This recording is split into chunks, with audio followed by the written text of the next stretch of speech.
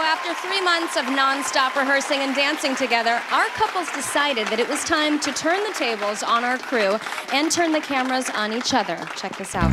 All right. You know what? This time I'm gonna be behind the camera.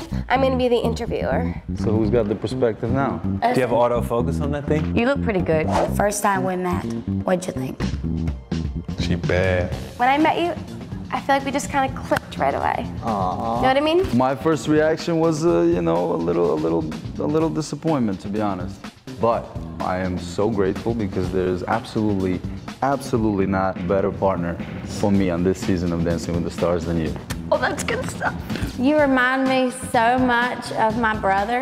Yeah. I mean, he's 12. Great. I thought you were gonna be a lot bigger. You scream a lot.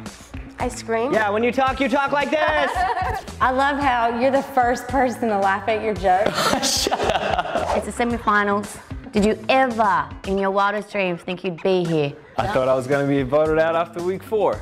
My legs hurt. Everything does. I'm just, I don't know. I'm about to fall apart. This is the most fun I've ever had. I didn't like expect to have this much fun on the show. Look at your feet. I'm standing like a player. I know, but they're not turned in. I'm so proud.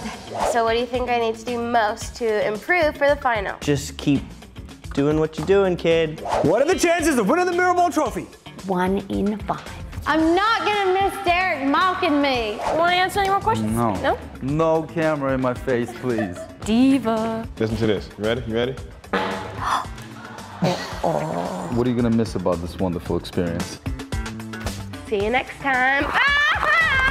Your fate in just a little bit. Whenever you leave us, whenever that may be, you're going to be taking away a lot of memories. But we just found out that you might be taking away just a little bit more than memories from this show. Take a look at this. little this. note at home. Every week, this is a little backstage oh knowledge. Oh my God, This is a little, this is a little Oh backstage my knowledge God. about Allie. She gets these bangles with her dresses, and every week she steals one. But I, And the other day, I loo- just I love them looked, so much. I looked in her bag the other day. There was like 12 of them in her bag. I- was they're like, memories. I was like, why do you have all those bracelets? She was like, sometimes I like to steal. Dancing with the Stars' most embarrassing moment.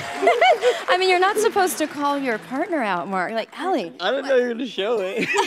You know what? Well, if you make it to the finals, you just might be bringing home a few more could with bring you. a couple more of these. Well, don't think I don't have a couple at home for Yeah. my oh, daughters oh, you too. steal them too. Uh, every girl does. Every, I'll admit nothing. I'm surrounded by spray tan kleptomaniacs.